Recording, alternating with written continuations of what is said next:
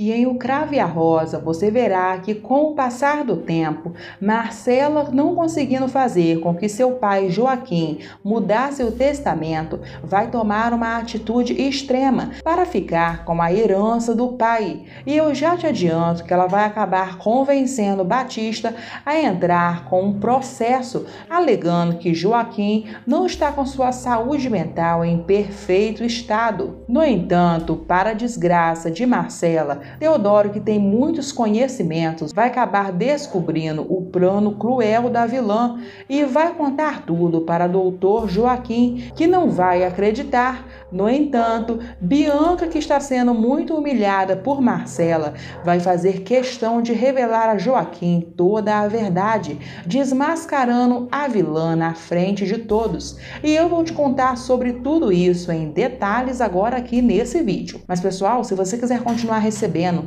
todas as novidades da novela O Cravo e a Rosa, eu peço que você já vai deixando o like aqui nesse vídeo, que é no joinha aqui embaixo, se inscreva no canal e ative o sininho, porque só assim você vai receber todos os nossos vídeos aqui em primeira mão. E eu também gostaria de saber a sua opinião. Qual é o final merecido para Marcela na novela? Ser presa, terminar pobre ou ser internada em um hospício? Deixe sua opinião aqui embaixo nos comentários que eu quero saber. E vamos ao vídeo de hoje. Teodora vai até o hotel e entra no quarto de Joaquim. Assustado, ele comenta: Doutor Joaquim, aconteceu uma verdadeira tragédia. Joaquim questiona: O que é isso, senhor? Isso é maneira de entrar nos meus aposentos? Eu estou aqui conversando com meu filho Januário e o senhor entra dessa forma? Mas, doutor, o senhor sabe, como eu sou advogado e político, eu tenho ótimas relações. Eu passei o dia todo fora de casa, mas quando eu cheguei em casa, tinha um recado para mim de um rapaz que trabalha no fórum fórum. Ué, mas o que, que eu tenho a ver com isso? O recado é seu, fica com ele. Comenta Serafim. É aí que Teodoro diz, mas o recado se refere ao Senhor. Todos sabem que o Senhor está apoiando a minha campanha política para prefeito e no que depender do Senhor, eu é que serei prefeito dessa cidade no lugar do doutor Batista. Ah, sim, então sim, continue. Eu fui me encontrar com esse rapaz que tinha uma informação valiosíssima Doutor Joaquim, ah, doutor Joaquim. Eu pensei que ele não teria coragem, mas ele teve. Já nervoso, Joaquim questiona: Peraí, você desembucha de uma vez, rapaz. Você está falando em enigmas. Dessa forma, não dá para entender. É aí que Teodoro revela o seu genro, o doutor Batista. Ele deu entrada num processo para provar que o senhor está doido. Incrédulo, Joaquim sussurra: O quê?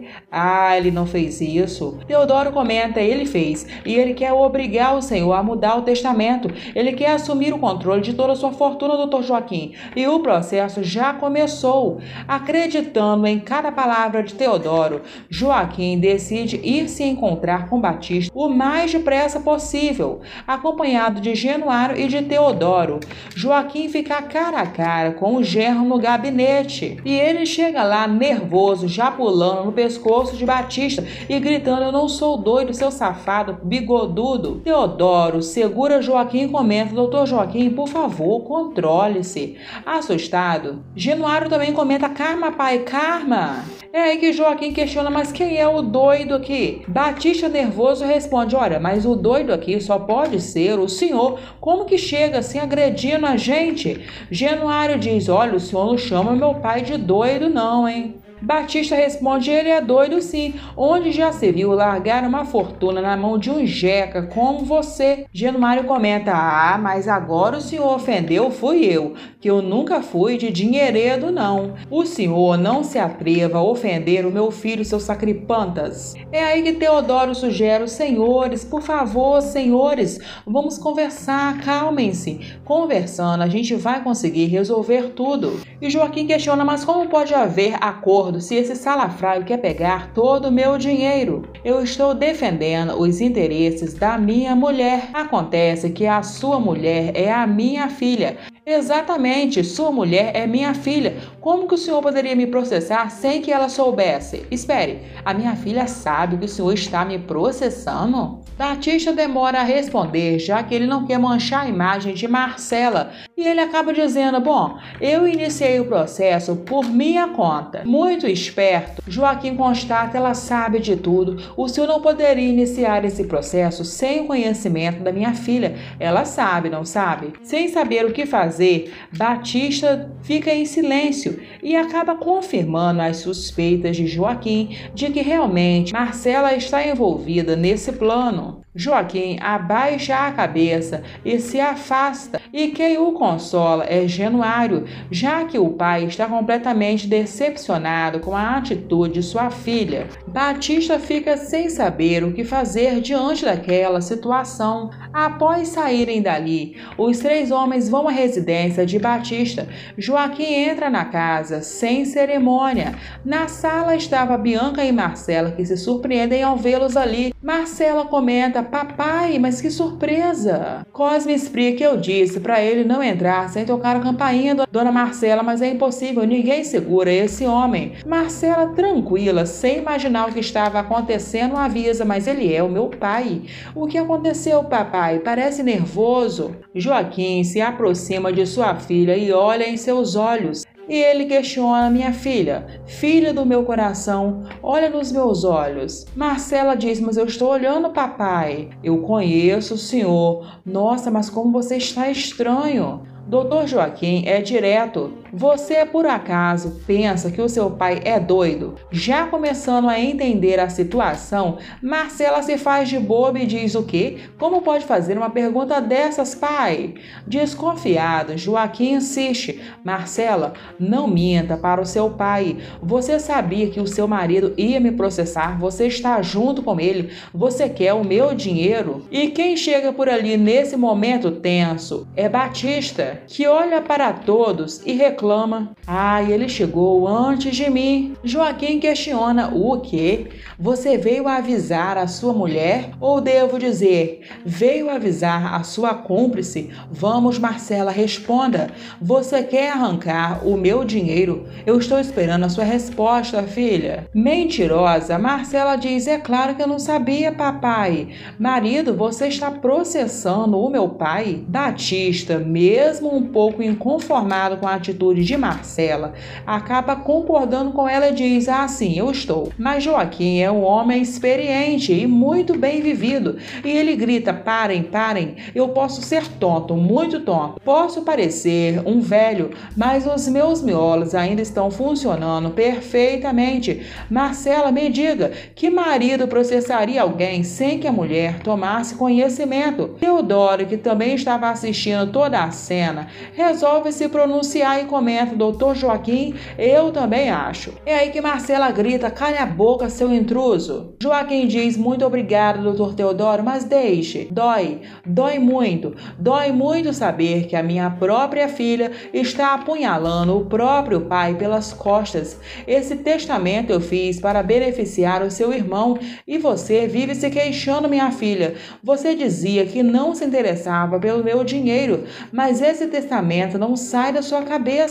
É aí que Januário diz: Ara, pai, mas se é por causa do testamento, o senhor pode mudar ele, que eu não me importo, não. Marcela diz: Papai, mas eu nunca me importei com dinheiro, o senhor sabe disso.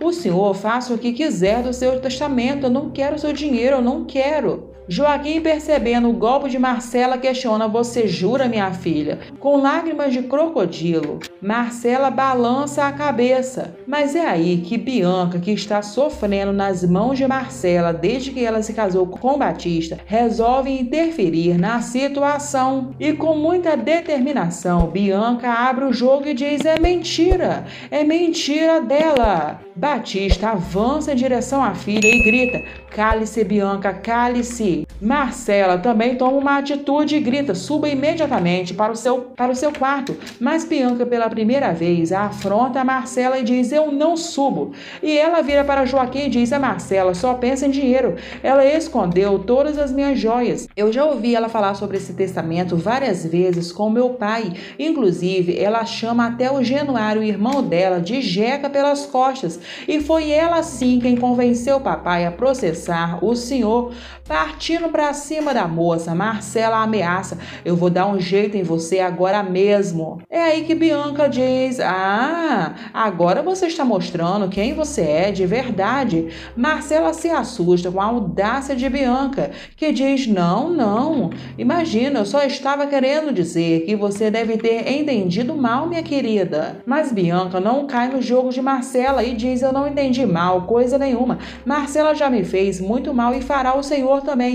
Fará o irmão e até o meu próprio pai, que se casou com ela. Inclusive, foi ela quem fez o papai me proibir de casar com o professor. Depois de jogar a bomba, Bianca então deixa a sala e começa a subir as escadas. Rumo ao seu quarto, doutor Joaquim, que ouviu tudo com muita atenção, olha para Marcela com uma enorme decepção. Marcela está com os olhos cheios de lágrimas e encara o pai. Joaquim tira os olhos e enxuga as lágrimas com uma grande decepção e ele olha para sua filha Marcela e afirma: Eu sabia, eu sabia, eu só menti para mim mesmo durante todos esses anos. Eu só não queria acreditar, mas no fundo eu sabia, pois fique sabendo, Marcela, que nem nessa vida, nem em outra vida, você verá a cor do meu dinheiro. É assim que Joaquim deixa a casa sem dizer nada. Enquanto isso, Marcela sobe as escadas para procurar por Bianca e para se vingar. Ela entra no quarto de Bianca sem bater e fuzila a menina com o olhar e solta uma ameaça dizendo: Você me prejudicou muito, sua ingrata. Bianca se levanta, confronta Marcela e diz: Eu só fiz o que eu achava certo.